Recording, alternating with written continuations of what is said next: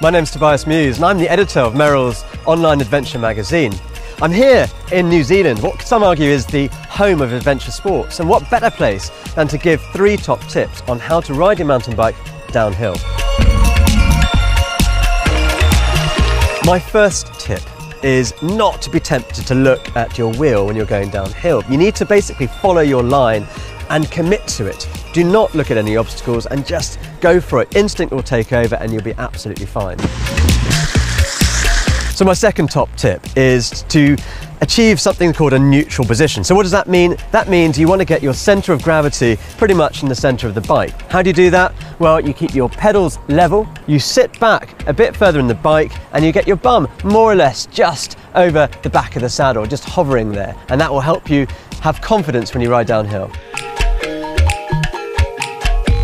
My third and final top tip is to feather your brakes. There's a huge temptation when you're going downhill to essentially hang on your hang on your brakes and keep them locked up, but if you do that, you will fall over. So feather them gently. So to sum up, my three top tips are to follow your line, keep a neutral position, and feather your brakes. But most importantly, remember to have fun.